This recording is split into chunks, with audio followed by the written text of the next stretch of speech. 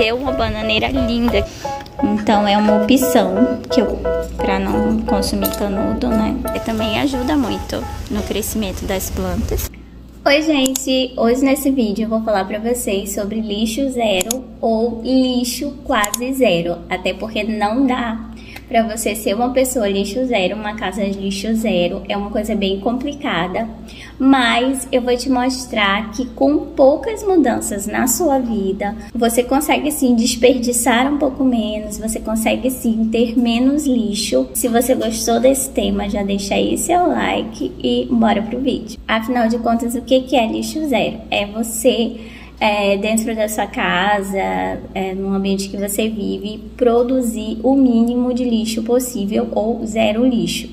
Isso eu acho uma coisa muito difícil para mim, principalmente, mesmo sendo minimalista, né? Eu ainda sou uma pessoa que consumo carne, eu ainda tenho um consumo muito grande de coisas com plástico, de coisas que não não tem como reciclar, não tem como reutilizar, né? Que acabam de alguma forma indo para o lixo mas eu li bastante, vi vídeos sobre o assunto e me interessou. Foi uma coisa que eu fiquei, meu Deus, eu posso, será que eu consigo fazer isso?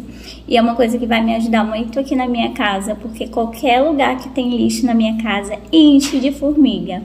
É impressionante. Então, assim, eu acredito que fazendo isso eu vou resolver dois problemas. É a questão do desperdício, de ter, produzir muito lixo, você é uma pessoa que produz menos lixo. Isso para mim vai ser uma coisa muito legal para mim e para o planeta, né?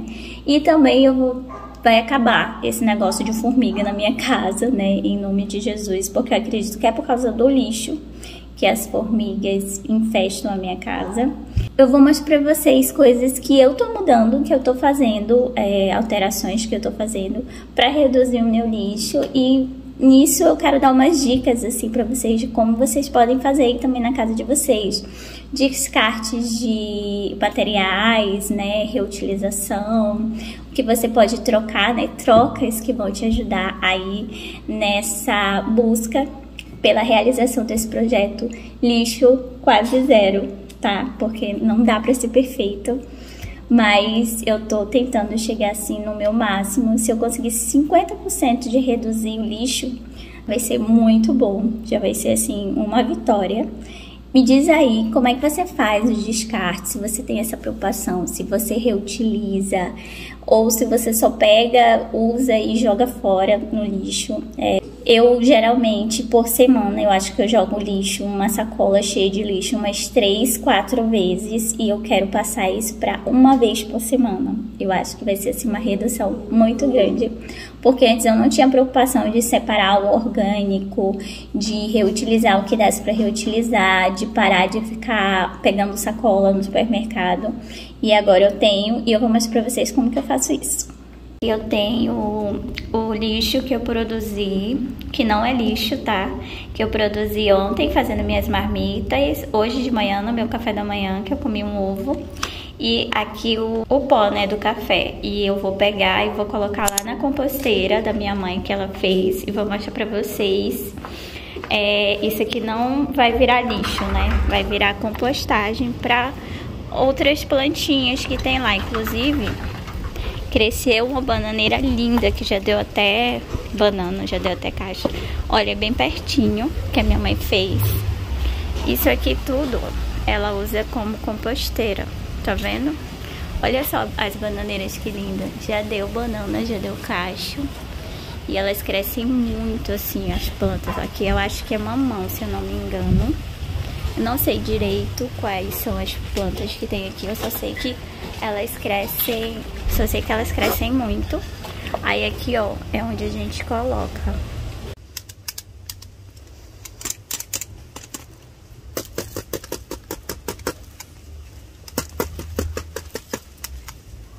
Aí de vez em quando ela dá uma limpada, uma organizada, né? Uma mexida, joga um pouco de terra, né?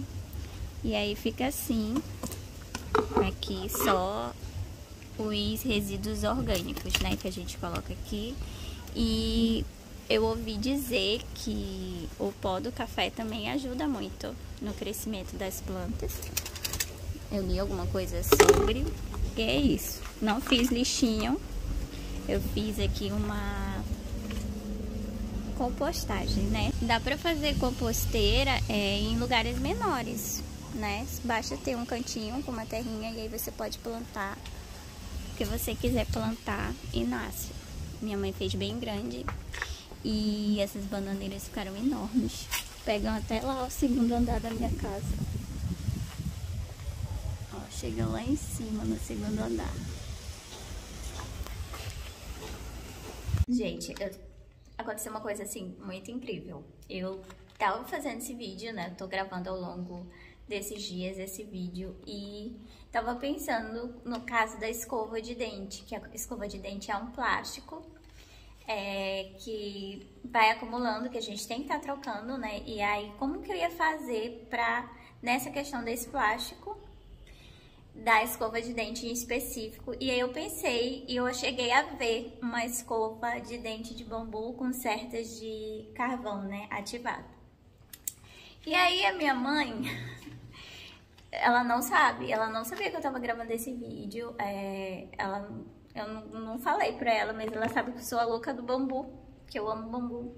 E hoje, que eu cheguei em casa, que eu ia gravar, né, continuar gravando, é, ela comprou uma escova de dente de bambu. Gente, eu achei assim muito assim, é uma conexão, sabe? Uma, uma lei da atração funcionando. E ela é muito linda, olha só que linda. Ela tem um detalhe, vou mostrar ela pra vocês com mais detalhes. Olha só, aqui tá dizendo que ela é de bambu sustentável, né? Que a gente pode colocar na natureza e não vai ter nenhum problema. A embalagem dela também é reciclada, reciclável, né? No caso. E tem escrito aqui como ela foi fabricada, o quanto de água que ela gastou, foi pouquíssima na produção dela. Gente, achei muito incrível. Aqui veio o negocinho, né, pra conservar. Olha só. Ela é linda, ela tem um, um desenho assim de bambu, que as sardinhas dela são bem macias. E eu tô apaixonada, né, por esse presente. Eu amo coisas de bambu e acabei de comprar. Essa aqui eu acho que tem dois dias que eu comprei ela. E aí eu fico, tipo, guardando. Eu acho que eu devo ter mais seis ou sete dessas que eu não sei o que fazer né? Aí essa aqui vai ficar um bom tempo comigo, ela é linda. Tô apaixonada. E é uma ótima opção pra gente estar tá diminuindo o lixo, né? Pra ter o descarte zero, o lixo zero. E reduzir o gasto de água, de é, reduzir a poluição, né? Que para fazer essas coisas de plástico, assim, o nosso planeta acaba sendo poluído, né? E há muito gasto, muito desperdício, principalmente de água. Então é uma opção que eu posso trazer para vocês, né? É escovas de dentes de bambu. Gente, tô apaixonada, sério mesmo.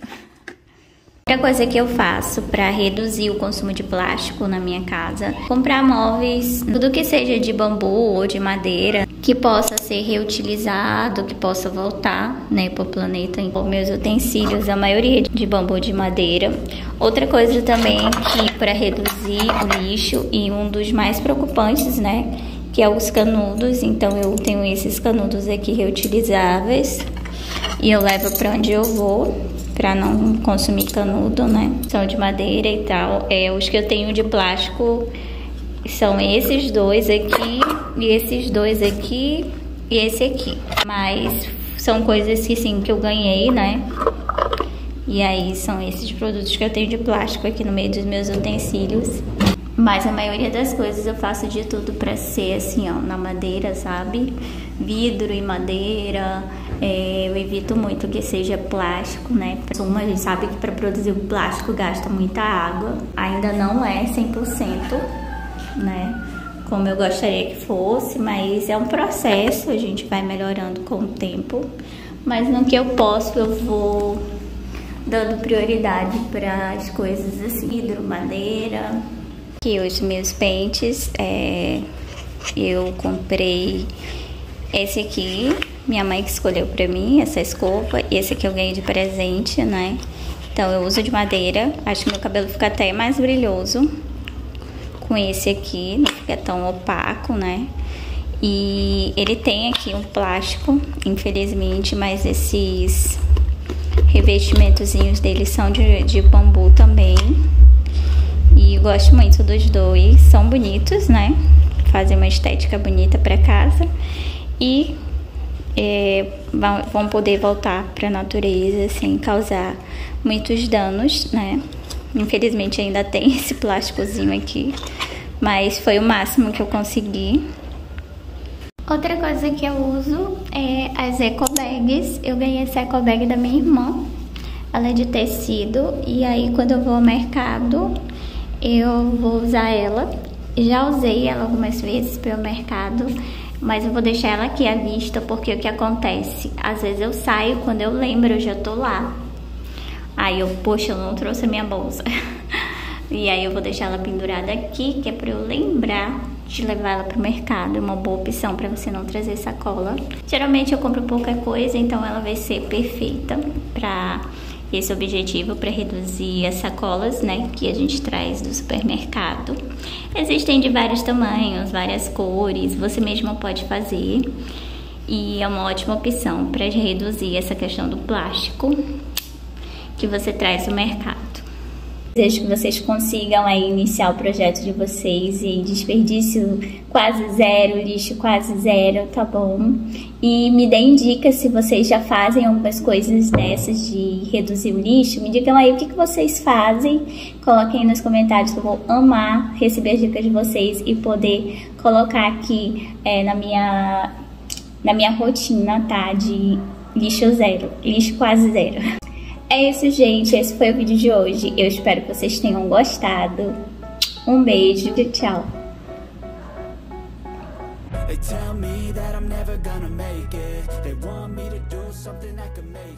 They